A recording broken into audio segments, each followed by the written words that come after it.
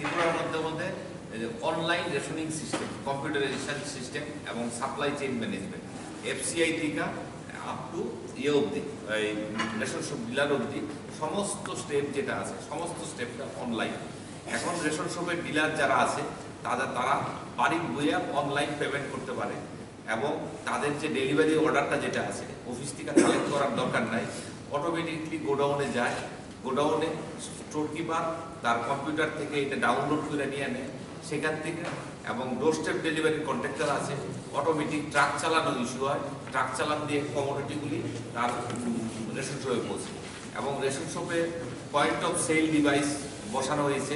সেটা দিয়ে এখন আমাদের তো পোর্টেবিলিটি সিস্টেম এটা আমরা চালু করেছি। যদিও রেশন শপ ডিলারের তরফ থেকে কিছুটা রেজিস্ট্যান্স আছে। নানা রকম রেজিস্ট্যান্স আছে। তো এখন ত্রিপুরা রাজ্যের মানুষ যেখান থেকে খুশি সেখান থেকে রেশনিং নিতে পারবে। পাশাপাশি এস এম এস গেটওয়ে যেটা আছে, সেই এস এম এস গেটওয়ের সঙ্গে লিঙ্ক করা, যে কেউ রেশন তুলবে সঙ্গে সঙ্গে তার মোবাইলের মধ্যে চলে আসবে। এই কতটুকু তুলেছেন, এত এত তারিখ তুলেছেন। পাশাপাশি আপনাদের মোবাইলের মধ্যে প্লাস কম্পিউটারের মাধ্যমে আপনারা এক বছরে বিগত কি কি বারে আপনারা কি কি তুলেছেন, সমস্ত কিছু খতিয়ান এটার মধ্যে আছে। মানে প্রিফারেন্সটা টোটালি বন্ধ হয়ে গেছে। পাশাপাশি যে একটা ক্লোজিং ব্যালেন্স থাকে, আগে যে ক্লোজিং ব্যালেন্স একটা থাকতো সেটা আমরা কাউন্ট করতাম না। এইসব সিস্টেমগুলি উঠে গেছে।